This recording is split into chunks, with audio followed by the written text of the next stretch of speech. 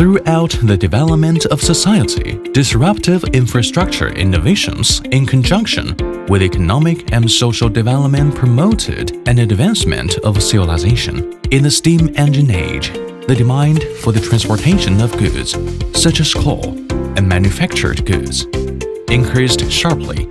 In this context, transportation infrastructure developed rapidly, and the communication efficiency of society was greatly improved. In the 1870s, we entered the electrical age. Energy infrastructure began to flourish, dramatically spurring industrial development. Nowadays, the new science and technology revolution is pushing traditional industries towards networking, digitalization, and intelligence digital information has become a necessity in today's society. Given this, people are calling for smarter living, more efficient enterprise production, and greener city governance. The construction of digital infrastructure paints a new vision for the production and life of the intelligent world. What is digital infrastructure?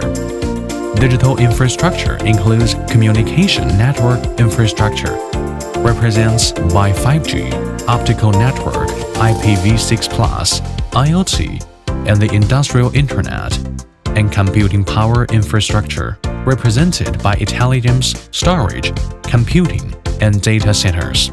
It focuses on data and supports end-to-end data-related activities, including data collection, perception, real-time transmission and distribution, storage computing, processing, mining, analysis, and decision-making. Digital infrastructure may be invisible to ordinary people, but in reality, it is everywhere. For example, remote working has become the norm for global office workers. Digital infrastructure ensures high-performance network operation, enables smooth video conferences with global colleagues, and realize remote collaboration in real time.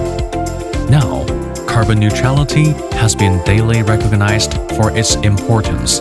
In the smart grid field, digital infrastructure innovation enables real-time sensing and scheduling of the running status of grids.